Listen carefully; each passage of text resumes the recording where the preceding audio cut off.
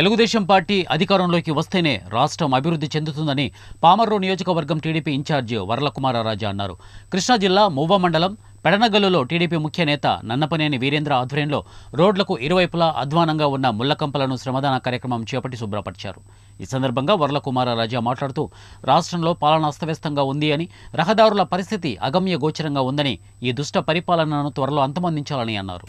పామర నియోజకవర్గంలోని మొవ్వ మండలం పెడసనగల్లు గ్రామంలో ఈ యొక్క రహదారి చెట్టు కొమ్మలన్నీ పెరిగిపోయి రోడ్డు మీదకి వచ్చి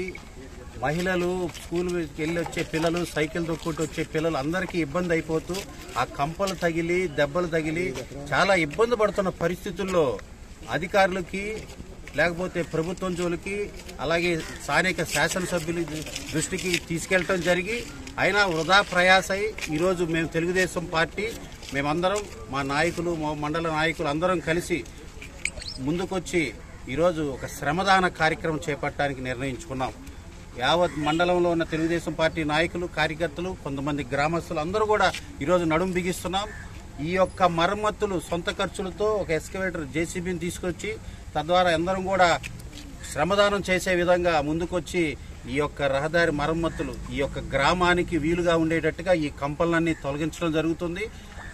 తెలుగుదేశం పార్టీ ప్రజాక్షేమం కోసం ప్రజల బాగు కోసం అడుగడుగునా ముందుంటుంది అని తెలియజేయడానికి మేము ఒక కార్యక్రమం చే- చేపట్టడం జరిగింది. ఇలాగే మున్ముందు ప్రభుత్వాన్ని నిలదీసే విధంగా ఇలాంటి శ్రమదాన కార్యక్రమాలు మేమే చేస్తూ మా సొంత నిధులతో అయినా కార్యక్రమాన్ని మేము చేస్తూ ప్రభుత్వం కళ్ళు తెరుచుకునే విధంగా రాబోయే రోజుల్లో ప్రభుత్వం కళ్ళు తెరిచి బయటకు వచ్చి ఆర్ఎన్బి వాళ్ళు కానీ లేకపోతే లోకల్ పంచాయతీ వాళ్ళు కానీ దీనికి ఇట్లాంటి రోడ్లన్నీ రిపేర్ చేసే విధంగా ప్రజలకి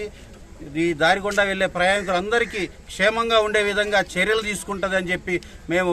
ఇప్పుడైనా కళ్ళు తెరిచి ప్రభుత్వం ఈ కార్యక్రమాలు ఇలాంటి కార్యక్రమాలు నిధులు కేటాయిస్తుందని చెప్పి